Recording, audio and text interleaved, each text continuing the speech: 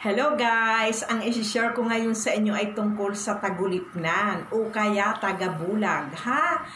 Kasi bali may nakaano nito sa akin, bali nag-upload yata ako tapos nabanggit ko yung mga kakayahan ko. Ngayon, napanood niya yun, ngayon kinukulit ako ng dasal na ito guys. Ha? Alam nyo, hindi talaga ako nito nag-share ha sa mga kapatid ko kahit na sinong pinsan ko, kamag-anak ko ha. Hindi talaga ako nito nag-share kasi ano, ni wala nga silang kaalam-alam sa mga kakayahan ko guys. Wala silang kaalam-alam. Kasi hindi ako mahilig magdaldal, magdaldal ng daldal na ganito, ganyan, guys. Tapos ngayon, guys, ano, bali, ito na, ayoko nang magdamot, guys. Kumbaga, ayokong magdamot sa dasal na to. Basta, ang aanuhin ko lang sa inyo, ha? isuko nyo ang sarili nyo sa Diyos ha para mapagana nyo ang dasal na ito dahil guys ang Diyos ang magbibigay ng kapangyarihan sa atin para mapagana natin lahat ng mga dasal na babanggitin natin guys at mga binabanggit natin guys ha. Huwag tayong aano ng sa kaliwa guys ha dahil ang balik guys triple yan, may mga mahal tayo sa buhay. Tandaan natin yan. Ang dasal na ito guys ay bali ng galing pa sa aking ay hindi ko na siya babanggitin ha. Relatives, sabihin ko na lang relatives guys. Bali medyo ano siyang tao eh, mas medyo basagulero siya nung time na yun guys. Basagulero siya tapos ngayon, lagi siyang hinahanap ng pulis kasi basagulero siya guys ha. Pero wala na siya, patay na siya guys. Kaya hindi na siya matuntog kung hanapin ano guys, bali ba sa gulero siya. Tapos ano ang ginagawa niya guys? Tatakbo ka agad yan papunta sa bahay. Ha? Bahay. Tapos ngayon guys, ano ang ginagawa niya? Dadasalin niya lang ang orasyon na to guys. Tapos aakyat niya siya, aakyat siya sa bubong sa bubong sa kisame. Siyempre madilim doon, di ba? Madilim, ha? Kasi minsan araw hinahanap siya ng pulis kasi medyo basagulero. Ngayon pupunta na yung pulis sa bahay nila. Tapos ngayon ito ang ginagawa niya. Umaakyat sa kisame guys. Tapos madilim doon. Dadasalin na niya yung orasyon. Tapos ngayon ngayon guys ay ano na, hindi na siya nakikita guys. Bali, nanggaling pa ito sa mga ninuno namin guys. Kumbaga, pasapasa na hanggang sa nakara nakarating din sa akin guys. Nakarating din sa akin. Tapos ngayon, pinag-aralan ko din ang dasal na ito guys. Pinag-aralan ko din siya. Kasi high school pa lang ako, medyo mahilig na ako sa spiritual. Nakakapagana na ako ng mga dasal kasi talagang nagdevotion ako noon. Hindi ko alam Bertudis pala ako, wala akong kaalam-alam guys. Tapos nung time na yun guys, napagana ko ito, napapagana ko ito guys. Pag hinahanap ako ng ate ko ha, pag hinahanap ako ng ate ko guys, bali, ang ginagawa ko, nagtitrip ako. Para bang laro-laro lang, nagtitrip kasi ayokong mahanap nila ako, di ba? Ayokong mahanap ako. Kaya ngayon ang ginagawa ko guys, ay ano ang gagawin ko? Dadasalin ko kaagad yung orasyon na yan. Ha, dadasalin ko siya. Tapos ngayon, apat lang yan na words. Napakadali guys. Kahit hindi ko na ito, ito isulat sa ano ha. Kahit hindi ko na isulat sa description kasi apat na words lang ito guys. Tapos ngayon, babanggitin ko na guys yung orasyon na yan ha. Apat na words. Tapos ngayon, ang gagawin ko ay iaano ko yung kamay ko sa ano. Kung saan ako nakahalimbawa nakasandig ako sa dingding, yung kamay ko, igaganyan ko yan. Yung para bang, ipa, igaganyan ko siya ha. Yung parang nakaganyan sa dingding ha. Kumbaga, iganyan mo yung kamay mo ha. Tapos banggitin mo ang orasyon guys. Yan lang guys, talagang napapagana ko ito guys. Tapos kahit nung nasa Manila ako, malaki na ako mga nasa line, magte-30 na yata ako noon eh. Magte-30 na ako nung time na yun, napapagana ko pa ito guys. Kasi minsan din, hinahan hinahanap ako ng kaibigan ko. Para bang laro-laro nga lang sa akin yung mga bagay na to eh. Para bang ayokong makita, makita, makita niya ako. Kasi nung time na yun din ang ginamit ito sa ate ko guys. Bali, nandyan na yung ate ko sa harapan ko, nandyan na siya halos madikitan na niya ako pero hindi niya talaga ako nakikita. Panay ang sigaw niya pero nangyari yun guys ay bali gabi. Ha, mga 7 o'clock yun ng gabi. Nangyari yun na hindi niya talaga ako nakikita. Nandiyan na siya sa harapan ko. Kulang na lang na maanuhan ko, ma, magkadikitan kaming dalawa guys. Ha, yan lang guys. Tapos ngayon naman sa Maynila na pagana ko ito. Yung, yung kaibigan ko naman, may kaibigan naman ako guys. Tapos ngayon, hinahanap niya ako. Hinahanap niya, pumunta siya sa bahay. Bali, pinuntahan niya, pumunta siya sa bahay. Hinahanap niya ako. Pero nandoon na ako sa gate, ha? Nandoon na ako sa gate. Tapos ngayon, pinagtripan ko din siya. Panay ang tawag niya, pumasok na siya sa bahay. Hindi niya ako nakita. Tapos ngayon, panay ang tawag niya, nandoon na siya sa may gate, nandoon nakatayo na, nandoon sa malapit sa akin, nandyan din siya sa harapan ko. Nandyan din siya sa harapan ko. Tapos ngayon, ano ang ano panay ang tawag niya, hindi na talaga niya ako nakikita. Panay ang halakhak ko. Humahalakhak ako kasi hindi niya ako nakikita. Nandiyan na ako sa tabi niya. Pero nakadasal na ako guys. Tapos yung kamay ko is nakaganyan na yan ha. Yung para bang nakaganyan na halimbawa nasa dingding ka. Sumandig ka sa dingding. Tapos yung kamay mo dapat maiganyan mo yan.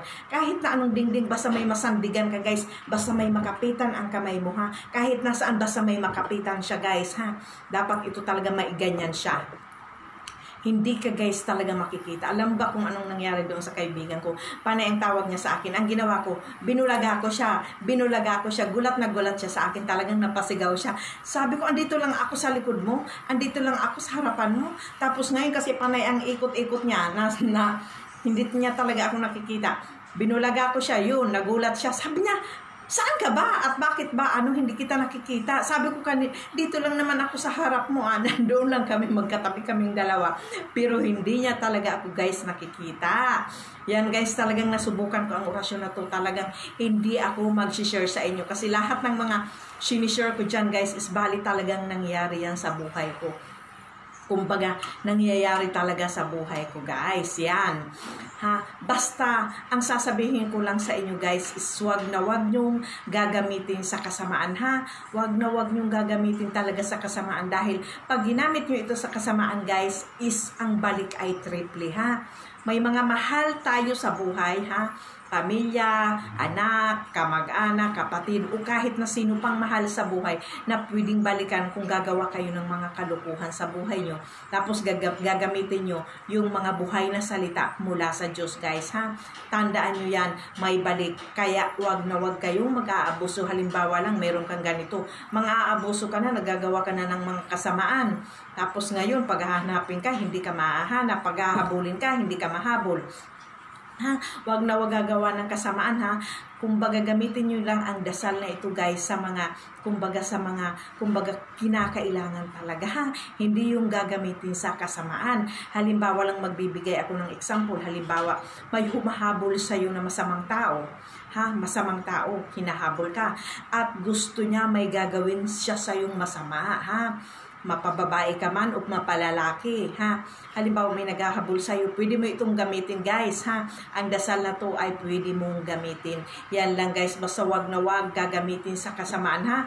Na halimbawa, pupunta ka sa ano, magnanakaw ka, tapos ngayon, paghabulin ka, hindi ka makikita, magtatagulipnan ka na, magtatagabulag ka na, wag na wag gagawa ng mga kasamaan sa mundo dahil ang Diyos Tandaan nyo yan. Basta ako nagwa-warning ako sa inyo. Gamitin nyo sa kabutihan lahat ng mga dasal na tinuturo ko.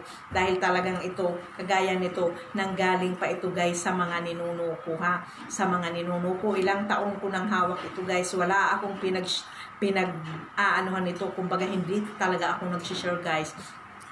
Basta ang bilin ko lang sa inyo yun, huwag gagamitin sa kasamaan. Tapos ngayon, ang mga bertodis ay makakapagpagana ng dasal na ito guys ha. Makakapagpagana at yung mga ano naman, yung mga hindi nakakapagpagana ng mga buhay na salita guys ay kailangan nyo guys mag-devotion, puder, pundo ha, para makapagpagana kayo ng orasyon guys ha. Tapos ngayon, may upload ako dyan na devotion poder pundo guys. Gawin nyo yan guys ha? Tapos basta dapat malinis ang puso nyo ha? Malinis ang puso nyo. Tapos ngayon matuto kayo magpatawad sa kapwa nyo maging matulungin din sa kapwa guys ha? Maging matulungin sa kapwa. Hindi naman yung sabihin pira mamid, mamudbud ka na ng pira. Hindi yung sa ganun na ibig sabihin na maging matulungin sa kapwa. Marami namang paraan ba para tumulong tayo sa kapwa natin guys ha? Dahil yan ay magiging kumbaga magiging kalugod-lugod kayo sa mata ng Diyos. At pwede niya kayo pagkalooban ng kapangyarihan. Basta maging mabuti kayong tao guys. Dahil ako talaga alam niyo talagang ang ugali ko hindi ako marunong mag ano lang ano ng ano kumbaga yung madali ako magpatawad kaysa ng kapwa.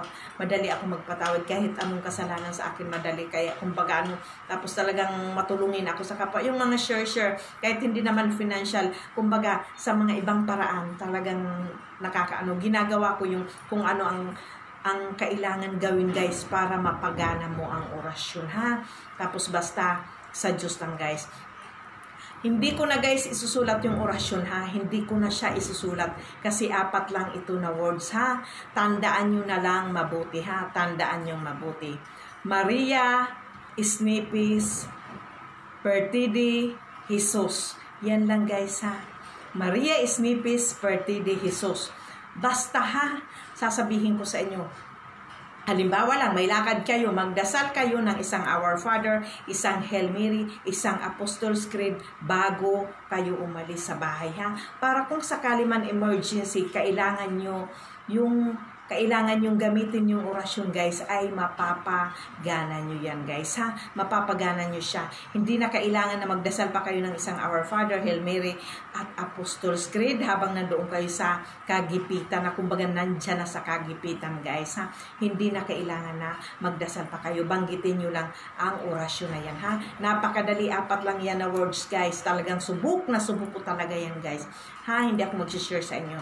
Yan lang guys. Thank you pa-subscribe na lang sa mga hindi pa nag-subscribe. At maraming salamat sa mga nag-subscribe sa akin. Marami pa akong i-share sa inyo.